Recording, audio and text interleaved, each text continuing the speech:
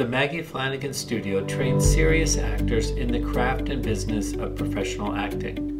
In this video, Michael Cinquino discusses the biggest mistake that many actors make during their headshot session.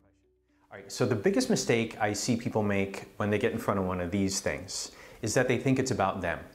And what happens is when we think being on camera is about us, we become self-conscious. And as Meisner actors, we know that self-conscious actors are boring actors. And the issue is that most of the time we don't know how to translate what we learn in the room to what we do in a headshot session. So we're here, we're uncomfortable, we're looking at this camera, our attention goes in, uh, we become nervous, we're thinking about our breathing, what our lip is doing, and we just become uninteresting. That's why a lot of people complain that their old headshots, quote, aren't them. So what I recommend doing is treating your headshot session like a Meisner scene. In a Meisner scene, uh, you have an activity, right? You have a partner, you have a relationship as you go on in the training. Now you can't do an activity in your headshot session.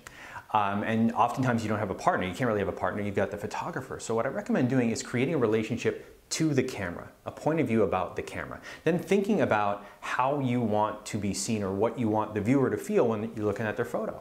Do you want them to feel like they can trust you? Do you want them to feel like you're powerful, you're flirtatious, whatever that is? Because you only want to be one in two places in front of a camera active, playing an action, or in some sort of reaction. The reaction is going to depend upon your relationship with the photographer.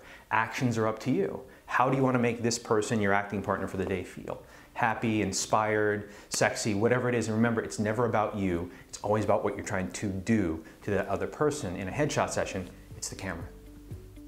For more information about the business classes and professional actor training that the studio provides, contact the studio directly by calling 917 789 1599.